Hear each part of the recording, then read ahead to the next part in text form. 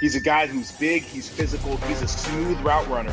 The perfect bridge between the old and the new in terms of the tight end. Walking in was Jeremy Ruckert. Oh, I mean, this dude is, is so talented. And the Gatorade State Player of the Year out of New York is the beneficiary. And I think we're seeing a point of emphasis to get number 88 to football. He, he's an NFL tight end, and that they just don't have to use as much as they'd like to, but you'll be watching him play on Sundays for a very long time. Play fake, Fields, the throw, with time, over the middle, wide open, touchdown, Bucks. Jeremy Ruckert.